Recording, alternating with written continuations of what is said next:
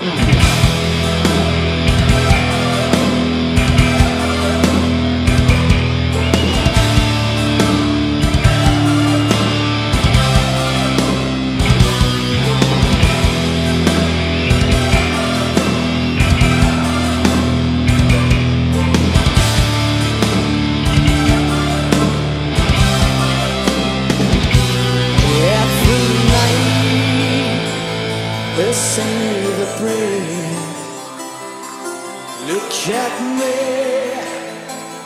Nobody cares.